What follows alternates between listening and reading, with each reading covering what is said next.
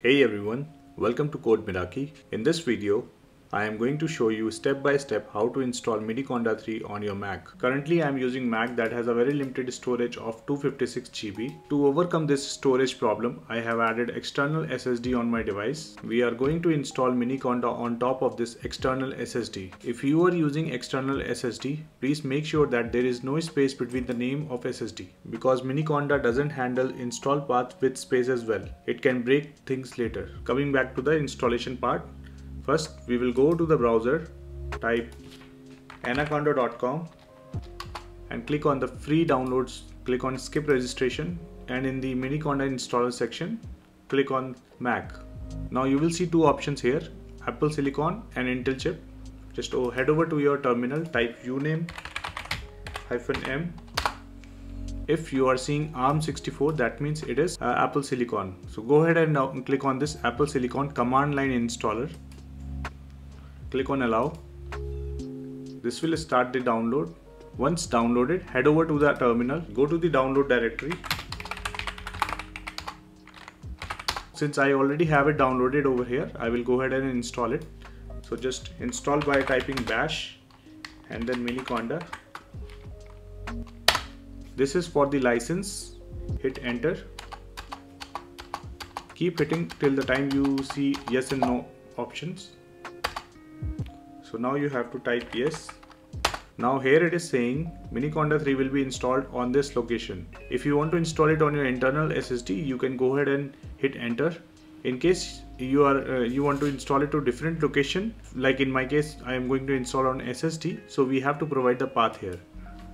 So in my case, it's volume external SSD.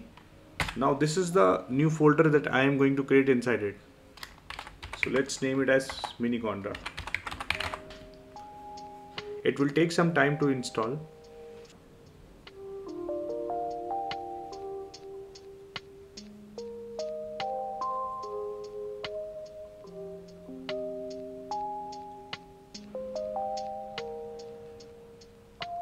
So here it is asking whether you want the conda to be activated every time we start the terminal so you can press yes if you agree, otherwise you can press no. In my case, I will say no because I want to activate it when I need it. Alright, so Conda has been successfully installed on our system. Next step is we have to update the shell profile. I am using Vim here, you can use Nano or any other text editor.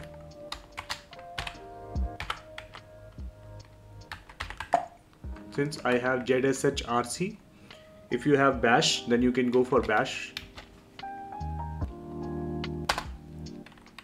And here I have to add this line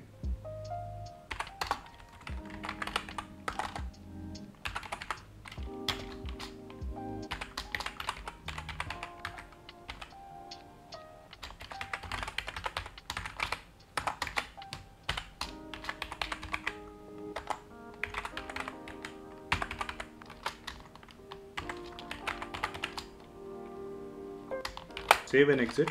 Reload the shell profile.